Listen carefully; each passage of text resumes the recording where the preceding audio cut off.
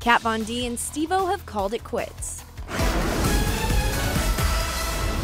Sources close to the pair confirmed to ET Tuesday that they have in fact broken up, though it's unclear why or what led to the split. The 34 year old tattoo artist and her daredevil love had been dating for three months, often posting about their romance on social media. The couple had been linked since November, but first confirmed they were dating in late December.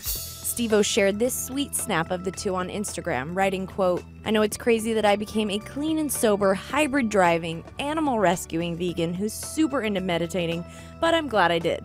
I'm even happier that I get to spend so much time with a shockingly gorgeous and amazingly talented woman who is all of those things. The two have since deleted all of the photos they took together from their various social accounts.